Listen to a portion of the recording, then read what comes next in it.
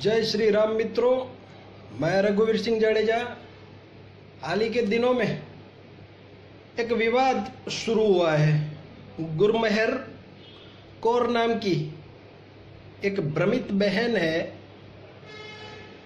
जो ये कह रही है कि मेरे पिता को पाकिस्तान ने नहीं मारा था।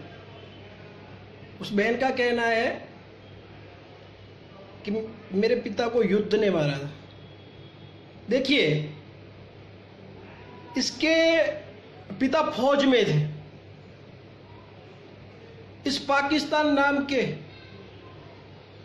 देश के कारण हमारे हज़ारों फौजी शहीद हो चुके हैं। जैसे इनके पिता शहीद हुए थे, वैसे ही कैप्टन सौरभ कालिया, जिसको इन पाकिस्तानी कुत्तों ने इतना बेहरमी से तड़पा तड़पा कर मारा था। इनके कान में गरम रॉड घुसाए गए थे, इनकी आँखें फोड़ दी गई थी। और इस वैसी तरीके से उनको मारा गया।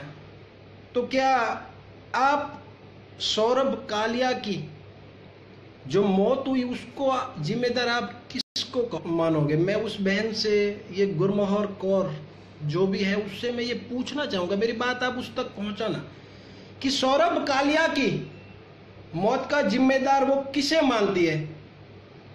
पाकिस्तान को या उसके लिए भी कोई और जिम्मेदार है?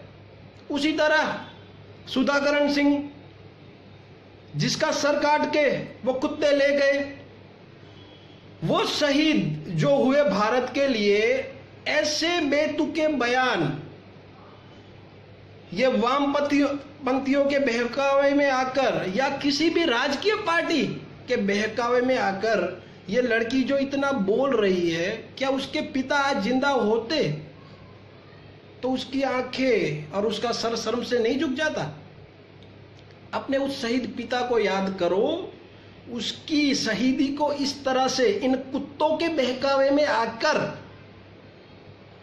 तुम भारत को बदनाम मत करो। ये सब राजकीय षडयंत्र है।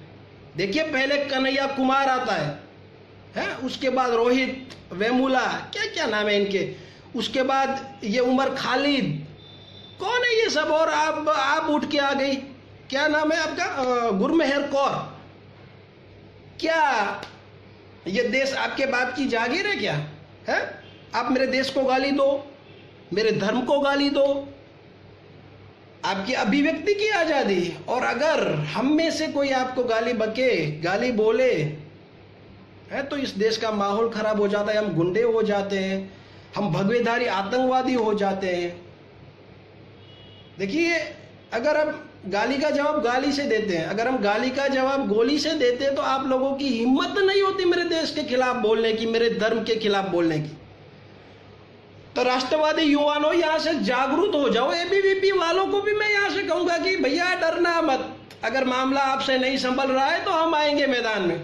देखिए, अब तो जंग छिड़ चुकी है। अब हर कुत्ता भोंक रहा है। बोल रहे हैं, हम अफजल पैदा करेंगे। आप अफजल पैदा करो, हम शिवाजी पैदा करेंगे। उस वक्त भी अफजल को मारा था, अभी भी मारे। और अब अगर पैदा होंगे तो अब भी मारेंगे। सालों आप लोगों को राष्ट्र द्रोही और राष्ट्र विरोधी जितने भी तत्व हैं, उनको मरना ही है। और अब गाली का जवाब गोली से मिलेगा। और जितने भी राष्ट्रवादी युवा हैं, उनका हम हम खुले दिल से समर्थन करते हैं। जब भी हमारी ज़रूरत पड़े, हमें बताना। लेकिन अब हिंदुस्तान का अपमान, हम नहीं सहेंगे। और शहीदों के नाम पर जो ये राजनीति हो रही है, उस राजनीतिक लोगों से भी मैं कहना चाहूँगा कि इतनी गंदे हद तक मत उतरो वोट की खातिर कि तुम लोगों ने पाकिस्तान को अपना बाप बना के रखा है। तुम लोग वो हो जो अगर तुम्हें ये कहे कि हम तुम्हें वोट दोगे तो तुम लोग अपने बाप को भी पहचानने से मना कर दोगे कि ये मेरा बाप नहीं है। तो पाकिस्तान को अपना बाप मानने मानने वालों संभल जाओ।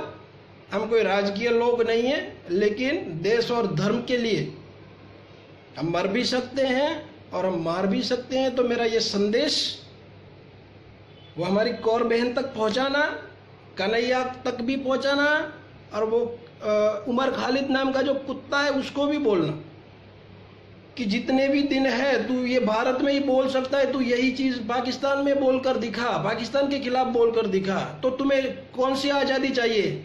वहाँ तुम्हें पता चलेगा कि आज़ादी क्या चीज़ होती है। लोकतंत्र का फ़ायदा उठाकर इस देश को बदनाम करने की कोशिश मत करो, वरना हर घर में शिवाजी पैदा होगा, ये वीरों की भूमि है, संभल जाओ।